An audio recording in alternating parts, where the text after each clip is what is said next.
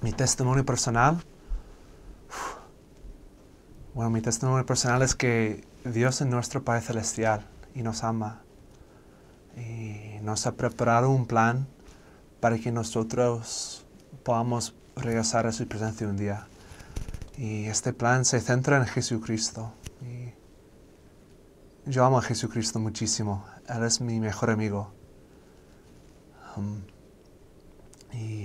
muchas veces cuando digo eso a las personas me preguntan, ¿cómo puede ser Jesucristo tu mejor amigo? Que no entiendo.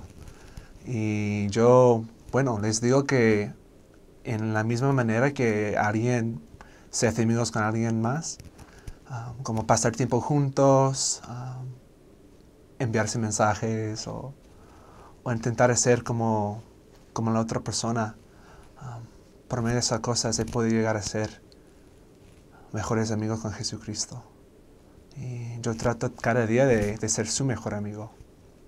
Y, y por medio de los estudios de las escrituras y la asistencia a la iglesia y la oración personal, además el servicio y, todo lo demás, realmente he podido conocer a, Cristo y cómo es. Y trato cada día de ser más como Él. Mi testimonio es que Él vive. Él es real. sé sin ninguna duda que se sacrificó por mí, que expió mis pecados. Y gracias a su sacrificio expiatorio, yo puedo seguir cada día adelante y yo puedo mejorar. Cuando yo pienso en Cristo, pienso en, paz y, y amor. es como un abrazo, un, grande abrazo. Y, y mi testimonio es que todos nosotros podemos tener eso. Todos nosotros podemos tener una relación personal con el Salvador por medio de las cosas pequeñas. Y lo sé. Estoy más seguro que el pan como dice España.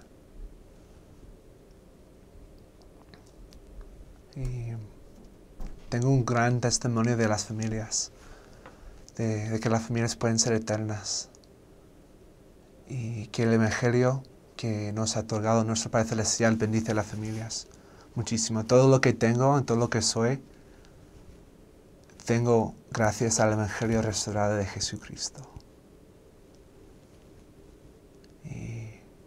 mi familia ha cambiado por tener el Evangelio en nuestras vidas y poderlo aplicar cada día.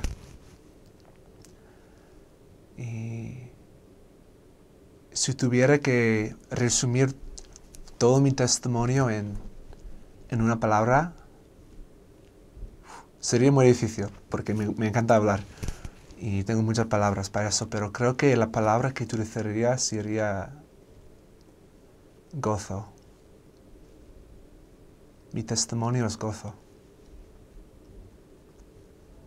Gozo en Jesucristo.